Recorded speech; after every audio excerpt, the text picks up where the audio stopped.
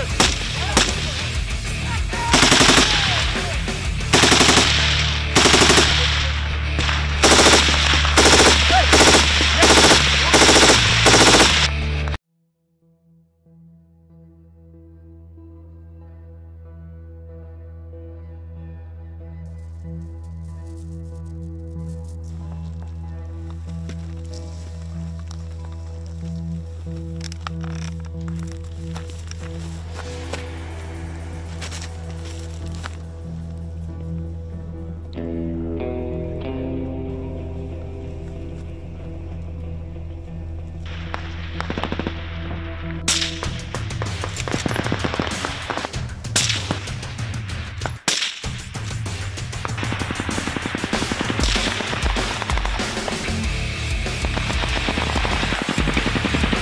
What's occurred this morning has been a deliberate battle group assault of a, of a fortified position conducted by our soldiers from 5 RAR, our Gurkhas from the 1st Battalion Royal Gurkha Rifles, our Marines from the 3rd Battalion 1st Marines Ground Combat Element, and also supported by 103 Battery and indirect fire support assets from the US Marine Corps.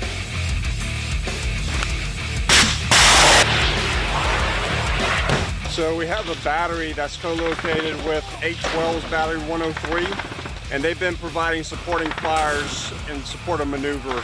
Also co-located with 5RAR's 81s is our 81s platoon, again supporting fires in support of maneuver.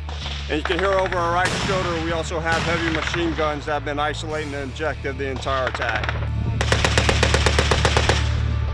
C Company just taken a trench position here. Um, it's Major Jack Mellor who's the OCC company, and then they're flanking round with another platoon to uh, engage in depth cover.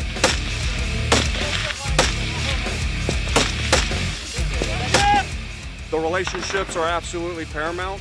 Relationships equals trust. Trust equals combat capability.